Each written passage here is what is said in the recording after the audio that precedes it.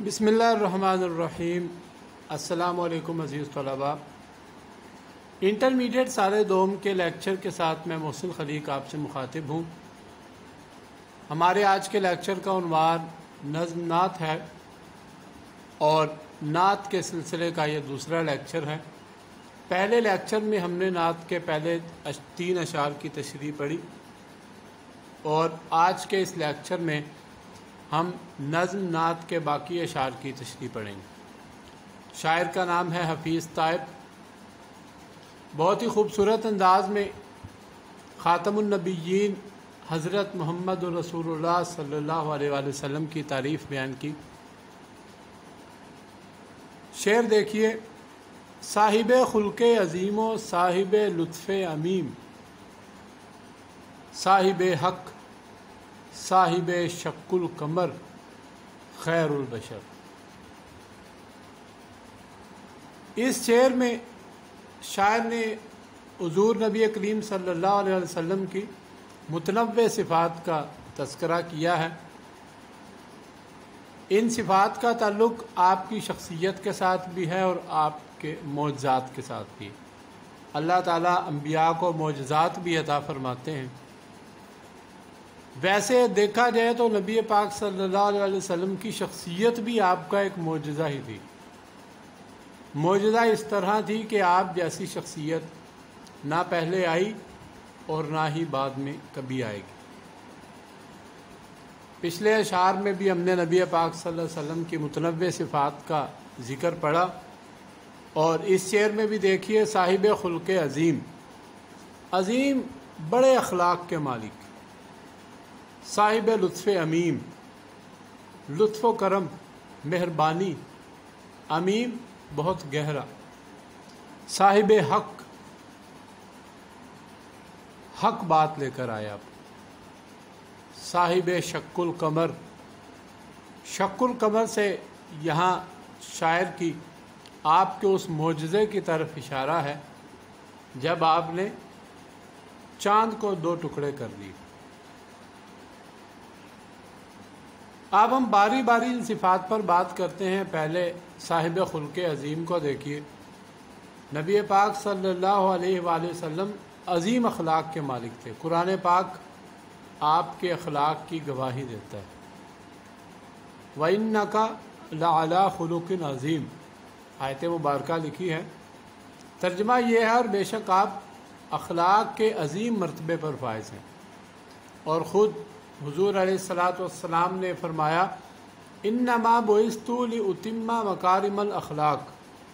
कि मुझे अल्लाह ताला ने अखलाक के आला तरीन दर्जे की तकमील के लिए भेजा तो अखलाक जो था, वो नबी पाक सल्लल्लाहु अलैहि वसल्लम की शख्सियत की एक इम्तियाज़ी सिफत अखलाक से क्या मुराद है? लोगों के साथ अच्छे रवैये का मुजाहरा करना। और नबी पाक सल्लल्लाहु अलैहि वसल्लम की तो ये आदत करीमा थी कि जो आपके साथ अच्छे तरीके से रहते, उनके साथ तो आप अच्छा बर्ताव करते ही थे, लेकिन आपकी अच्छाई और आपका अखलाक उन लोगों के लिए भी था जो आपके साथ बुरे तरीके से पेश आते। आपकी सीर मुबारक से बहुत सी ऐसी मिसालें मिल सकती हैं कि आपके साथ बुरा बर्ताव किया गया, लेकिन आपने जवाब में अच्छा बर्ताव किया, अखलाक का मुजाहरा किया। शायर कहता है, हौसला किसमें है दुश्मन को दुआ देने का? हौसला किसमें है दुश्मन को दुआ देने का? ये रिवायत भी मोहम्मद के घराने तक, सल्लल्लाहु अलैहि वसल्लम। तो आपके अखलाक आलिया का अजीम तरीन मुजाहरा फ़तह मक्का के मौका पर हमें नज़र आता है। साहिब लुत्फ़ अमीम पिछले अशार में आपके लुत्फ़ करम की वजाहत हो चुकी है कि आपकी शख्सियत में अखलाक की तरह लोगों पर मेहरबानी करने का जज्बा भी बदरजा गायत मौजूद था। और आपकी ज़िंदगी से बहुत सी मिसालें ऐसी मिलती हैं कि आप लोगों पर कमाल शफकत और मेहरबानी फरमाते। एक बार एक सहाबी आपकी खिदमत में हाजिर हुए। आपके जिसम मुबारक पर उस वक्त एक ही चादर थी। उसने सवाल किया, आपकी आदत मुबारक थी कि आप किसी के सवाल को रद्द नहीं करते। तो उसने वो चादर मांगी और आपने फ़ौर वो अता कर। इससे आप अंदाज़ा लगा सकते हैं कि आपकी शख्सियत में लोगों के लिए लुत्फ़ और मेहरबानी किस हद तक था? साहिब हक थे आप। इन्ना अरसल ना का बिल हक की बशीरम व नज़ीर। अल्लाह ताला कहते हैं कि इन्ना अरसल ना का बिल हक, हमने आपको हक के साथ नाजल किया, आपको हक देकर भेजा। आप हक के नुमाइंदे थे इस दुनिया में। साहिब शक्ल कमर, आप वो हस्ती हैं कि जिनके हाथों शक्ल कमर का मौजा ज़हूर पजीर हो। कुफार जो थे, वो तरह तरह की अजीब गरीब फरमाइशें करते।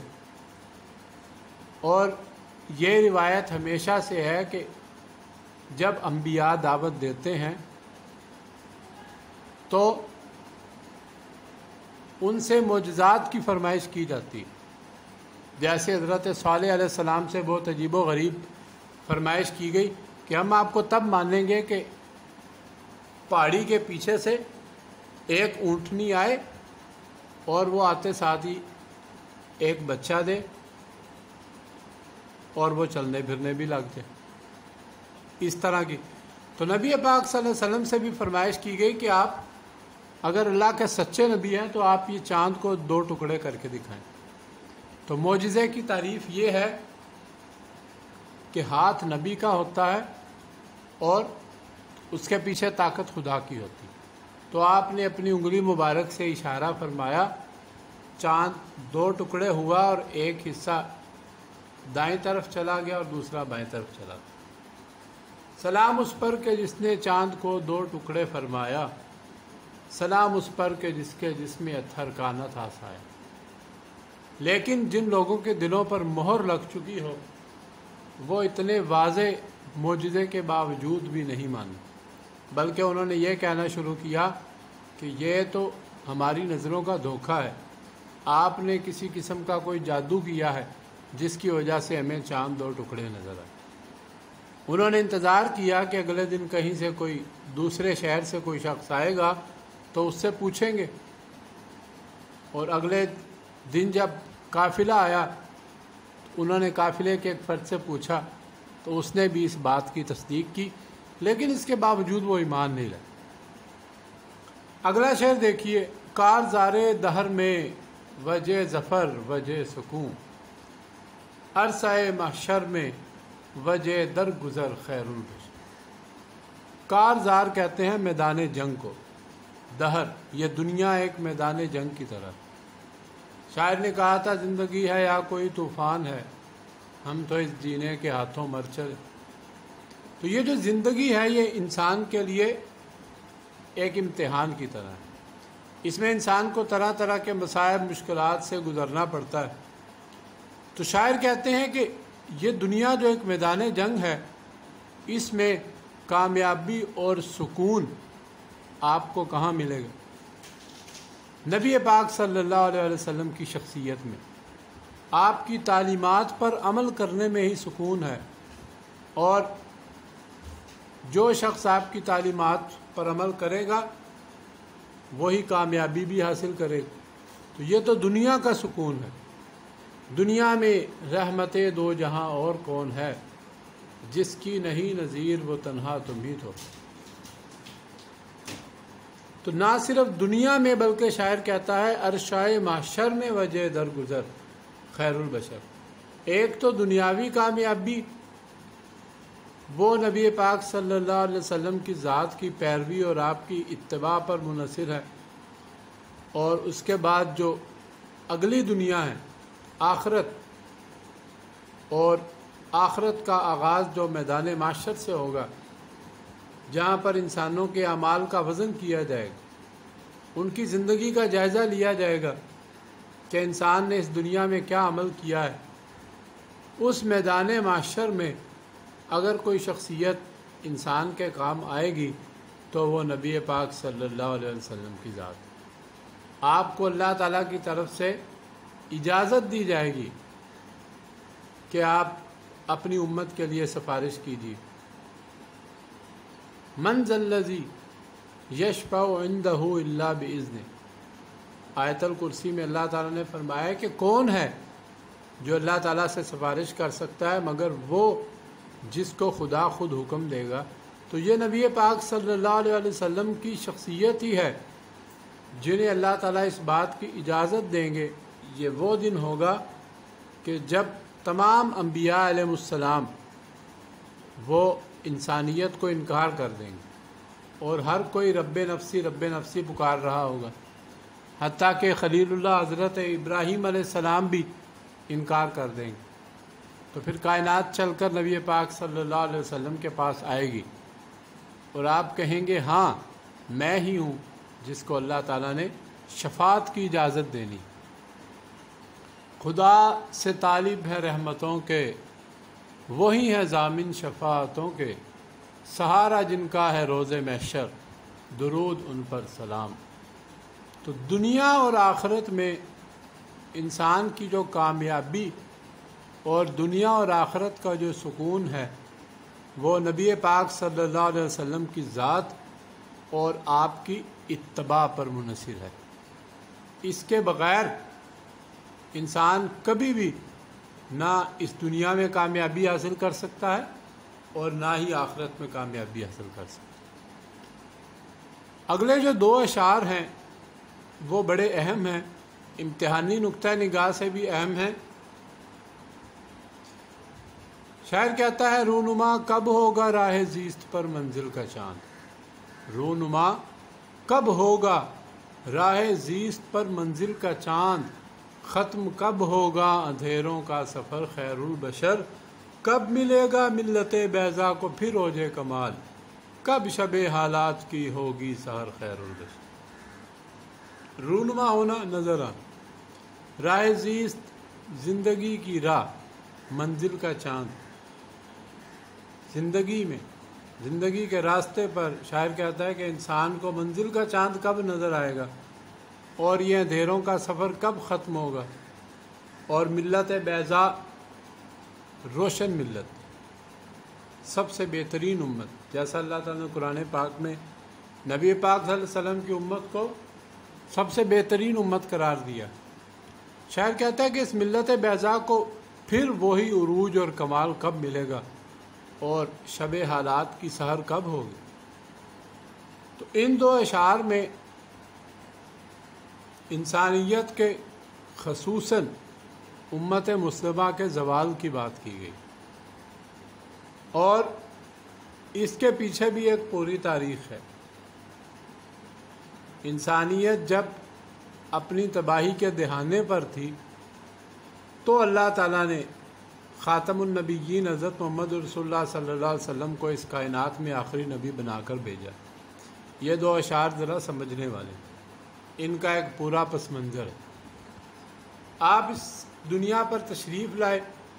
आपने लोगों को ना सिर्फ़ एक खुदा की दावत दी, बल्कि इसके साथ साथ माशरती और अखलाकी और इंसानी एतबार से भी लोगों को तहज़ीब, तमदन, शाइस्तगी, अखलाकियात जैसी चीज़ों से रोशनास कराए। ये इंसानियत जो थी, ये हर हवाले से जवाल पजीर थी। आपने अरब के इन लोगों को उठाया, इनको अखलाकियात सिखाई, इनको बादशाही के गुर सिखाए तो वही लोग जो अखलाकी हवाले से तही दस्त थे, जिनकी कोई अखलाकियात नहीं थी, जिनको ज़िंदगी गुजारने का ढंग नहीं आता था। और जो अरब के चरवाहे थे, तिजारत करने वाले थे, जिनको दूसरी दुनिया के लोग हकारत की नज़र से देखते थे, उन्हीं लोगों ने दुनिया के एक बहुत बड़े हिस्से पर अपनी सल्तनत कायम की। मुसलमानों ने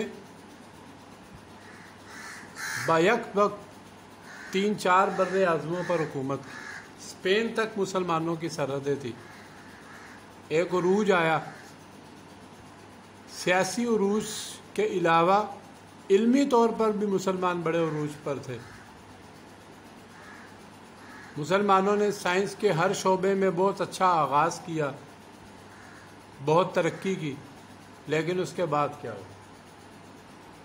उसके बाद इकबाल कहते हैं वो मुआज़ थे, ज़माने में मुसलमान होकर और तुम ख्वार हुए तारिक कुरान। अल्लाह ताला ने इस उम्मत के लिए एक नुस्खा कीमिया भेजा था, जिसका नाम है कुरान पाक, कुरान मजीद, अल्लाह ताला का कलाम। ये कलाम इंसान की दीनी और दुनियावी दोनों लिहाज से तरक्की के लिए बहुत ज़रूरी था। तो जब तक तो मुसलमानों ने इसको थामे रखा, मुसलमान दुनिया में उरूज पर रहे। लेकिन जैसे ही मुसलमानों ने इसको छोड़ा तो मुसलमान जवाल की तरफ़ जाना शुरू हो और आज मुसलमानों की हालत ये हो चुकी है कि नाम के मुसलमान हैं। वो अखलाकियात जो कभी मुसलमानों का तुर्रा इम्तियाज़ हुआ करती थी, वो ख़त्म हो चुकी है। माली, मुआशी, मुआशरती तरक्की बिल्कुल भी नहीं और दुनिया में अगर कोई कौम जुल्म का जवाल का शिकार है तो वो मुसलमान है। इकबाल का एक शेर है, कहते हैं, तकदीर के काजी का ये फतवा है अजल से, है जुर्म ज़यफ़ी की सज़ा मर्ग मफाजात जो कौम कमज़ोर हो जाती है, जुर्म ज़यफ़ी ज़यफ़ी का जो जुर्म है, वो दुनिया में सबसे बड़ा जुर्म है। तो मुसलमानों ने जब नबी पाक सल्लल्लाहु अलैहि वसल्लम की तालीमात को छोड़ा। अब यहाँ पर एक चीज़ की वजाहत करता रहूँ, करता चलूँ कि नबी पाक वसल्लम की तालीमात से मुराद महज दीनी तालीम नहीं बल्कि जितने भी दुनियावी ूम हैं, वो तालीम का हिस्सा हैं। उस तालीम का जो अल्लाह ताला ने और अल्लाह के नबी ने हमें दी है। साइंस कभी भी मज़हब के ख़िलाफ़ नहीं, बल्कि वो मज़हब की क्लैरिफिकेशन है। रोज़ एक नई ऐसी चीज़ ईजाद होती है जो कुरान पाक और नबी पाक सलम के किसी फरमान की तोसीक करती तो मुसलमानों ने सिर्फ़ कुरान पाक को ही नहीं छोड़ा, बल्कि उन्होंने इन तमाम उलूम को छोड़ दिया। इन तमाम उलूम को छोड़ने की वजह से मुसलमान पर जवाल आया। हाल कहते हैं, बड़े दर्द दिल से, ए खासा खासान रसुल वक्त दुआ है, उम्मत पे तेरी आके अजब वक्त पड़ा है। जो दीन बड़ी शान से निकला था वतन से परदेश में वो आज गरीब अलगुरबा है। फरियाद है, ए कश्ती उम्मत के निगे माँ बेड़ा ये तबाही के करीब आन लगा। इकबाल कहते हैं, तू है मौलाए असरफ आप मेरी चारा साजी कर। मेरी दानिश है अफरंगी, मेरा ईमा है जन्नार ईमान भी दूसरों से कॉपी किया हुआ और दानिश अकल अंग्रेज़ों से मुस्तार नहीं हुई। तो जब ये सूरत हाल होगी तो ज़ाहरी बात है, जवाल ही होगा। तो शायर बड़े दर्द दिल के साथ यह इल्तजा कर रहा है ये सवाल कर रहा है कि वो मिलत बैज़ा, जिसने एक आलम को तहजीब और तमदन से रोशनास करवाया, जिसने दुनिया को बादशाहत के गुर सिखाए, जिसने इंसान को ज़िंदा रहने का तरीक, जिसने इंसान को ज़िंदा रहने का तरीका सिखलाए अहमद अदीम कासमी कहते हैं, मौत से किसको मुफिर है मगर इंसानों को? पहले जीने का तरीका तो सिखाया तो शायर कहता है कि उस उम्मत को उरूज कब मिलेगा? अब जाहरी सी बात है, शायर यहाँ पर हमारी तवज्जो दिलाने की कोशिश कर रहा है। ये कोई छुपी बात नहीं है कि इस उम्मत को अरूज कैसे मिलेगा। नुस्खा कीमिया अभी भी हमारे पास मौजूद है। कि मोहम्मद से वफा तूने तो हम तेरे हैं। ये जहाँ चीज़ है क्या? लोहो कलम तेरे। तो उरूज का एक ही नुस्खा है, वो कुरान पाक है और कुरान पाक की तालीमत हैं और उलूम का हासिल करना है। आखिरी शेर शायर ने अपना तखलुस भी इस्तेमाल किया है। और अमूमन वो शेर जिसमें शायर का तखलस इस्तेमाल हो, वो तशरी में नहीं आता। इम्तहान में वो नहीं दिया जाता। क्योंकि शायर के नाम के भी और नज़म के उनवान के भी नंबर होते हैं। नज़म का उनवान और शायर का नाम इसके दो नंबर होंगे और दो शेर आएँगे, उसके चार चार नंबर होंगे। तो ये जो दो अशार की हमने तशरी की है समझी है? इन दोनों अशार की तशरी आप इकट्ठी कर सकते हैं और बड़ी तफसील के साथ कर सकते हैं। शायर कहता है, दर पे पहुँचे किस तरह वो बेनवा बे बालों पर? दर पे पहुँचे किस तरह वो बेनवा बे बालों पर? एक नज़र तायब के हाल ज़ार पर, खैरुल शायर अपनी हालत ज़ार पर तवज्जो दिलाने की कोशिश कर रहा है। हर मुसलमान की यह ख्वाहिश है और वो इस बात को अपने लिए सादत समझता है कि वो ख़ातमनबीन हज़रत मोहम्मद अलैहि वसल्लम के रोज़ा मुबारक पर हाज़िरी दे। एक आशिक के लिए इससे खुशी की बात नहीं होती कि वो अपने महबूब के दर पर आ जाए। फासले बहुत ज़्यादा हैं। और बाज़ अवत इंसान के पास वसाइल भी नहीं होते तो वो बहुत खुश नसीब होते हैं जिनको वसाइल भी मिलते हैं और हाज़री का इज़न भी मिलता है। तो शायर अपनी तही दामनी, अपनी बेनवाई की तरफ़, अपने आलत ज़ार की तरफ़ तवज्जो दिला रहा है और उसके दिल में नबी पाक सल्लल्लाहु नबी पाक सल्लल्लाहु अलैहि वसल्लम के रोज़ा मुबारक पर हाज़री की जो तड़प है वो अपनी इंतहा पे पहुँची हुई। और वो चाहता है कि वो वो किसी तरीके आपके दर पर पहुँच जाए। और ये हर मुसलमान की ख्वाहिश है। दुआ भी है कि अल्लाह ताला हम सबको उस पाक सरजमीन की ज़्यारत और नबी पाक सल्लल्लाहु अलैहि वसल्लम के रोज़ा मुबारक पर हाज़िरी की तोफ़ी अता फ़रमाए। तो इसी के साथ हमारा आज का ये लेक्चर अपने अख्ताम को पहुँचता है। उम्मीद है आपने अशार को समझा होगा। अशार को पढ़ें।